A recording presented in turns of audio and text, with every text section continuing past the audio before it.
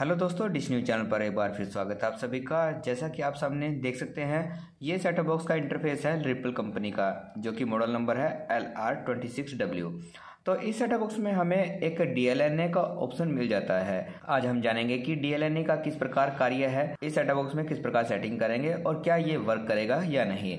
चलिए देख लेते हैं। सबसे पहले तो आपको एक काम करना पड़ेगा। डीएलएनए चलाने के लिए आपका सेटअप बॉक्स और आप जिस फ़ोन को कनेक्ट करना चाहते हैं, वो दोनों के दोनों एक ही वाईफाई से कनेक्ट होने चाहिए। अगर आपके पास एक एक्स्ट्रा मोबाइल है, जिसमें आप हॉटस्पॉट ऑन कर देंगे, चाहे नेट चले या ना चले, आपका हॉटस्पॉट ऑन रहना चाहिए। दोनों को कनेक्ट करने के बाद आपको रिमोट से डीएलएनए का ऑप्शन कनेक्ट कर लेना है। ओके करते ही इस प्रकार का कुछ इंटरफेस नज़र आएगा। इसमें आपको एक एप्लीकेशन डाउनलोड करनी होगी। यानी आपको अपने फ़ोन में जिसको कास्ट करना है, उसमें एक एप्लीकेशन इंस्टॉल करनी है। यहाँ पर हम आपको एप्लीकेशन का नाम भी बता दें।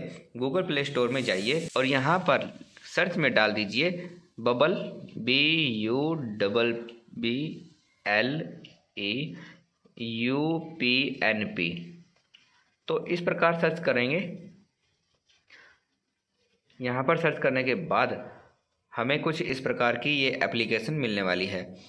इस एप्लीकेशन को डाउनलोड कर लीजिए। डाउनलोड करने के बाद यहाँ पर रिमोट से ओके का बटन प्रेस कीजिए।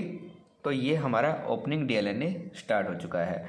DLN स्टार्ट हो चुका है। रिमोट से हमने ओके बटन प्रेस किया और अब मोबाइल से इस एप्लीकेशन को ओपन करेंगे। यहाँ पर जो परमिशन वगैरह माँगता है, उसे ओके कर दीजिए। अब इसमें हम कनेक्ट करेंगे। सबसे पहले ऊपर आपको एक ऑप्शन दिखाई देगा, यहाँ पर कास्ट जैसा। इस पर टच कीजिए और टच करने के बाद नीचे कुछ टच करने के बाद कुछ इस प्रकार का इंटरफेस नज़र आएगा। यहाँ पर आपको दो ऑप्शन नज़र आ रहे हैं, अपना एस पर टच कर देना है। यानी हमारा जो सेटअप बॉक्स है, वो कनेक्ट हो चुका है। अब यहाँ से आप कोई भी अपनी फ़ाइल चूज़ कर सकते हैं। जैसे वीडियो है म्यूज़िक है इमेज है तो कोई भी आप प्ले करके इन्जॉय कर सकते हैं।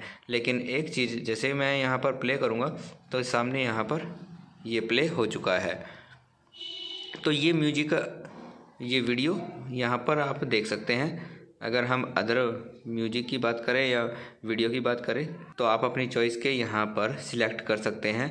जो भी आप चलाना चाहें, लेकिन एक चीज़ का ध्यान रखिए, आप जो हाई क्वालिटी की वीडियो अगर चलाना चाहते हैं तो वो यहाँ पर काम नहीं करेगी।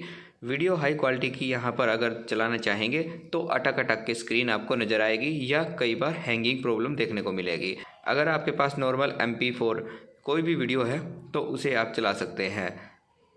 यहाँ पर प्ले कीजिए और यहाँ इस प्रकार का इंटरफेस आ जाएगा। तो आप चला सकते हैं कोई भी अपनी मनचाही वीडियो या कोई भी इमेज सॉन्ग लेकिन इसमें ध्यान रखना होगा कि पिक्चर क्वालिटी हाई नहीं होनी चाहिए। अगर जैसे ही आप फोर के एक हज़ार अस्सी पिक्सल के वीडियो चलाएँगे तो उसमें हैंगिंग प्रॉब्लम देखने को मिल सकती है। यहाँ पर मेरे फ़ोन में जितनी भी वीडियोज़ हैं, वो सारी की सारी नॉर्मल हैं। ज़्यादा कोई हाई क्वालिटी की नहीं है। प्ले करते ही इस प्रकार चलने भी लगेगी, आप बैकग्राउंड में देख पाएँगे। लेकिन आज के टाइम में हाई क्वालिटी का ही कैमरा होता है और हाई क्वालिटी की वीडियो ही लोग देखना पसंद करते हैं।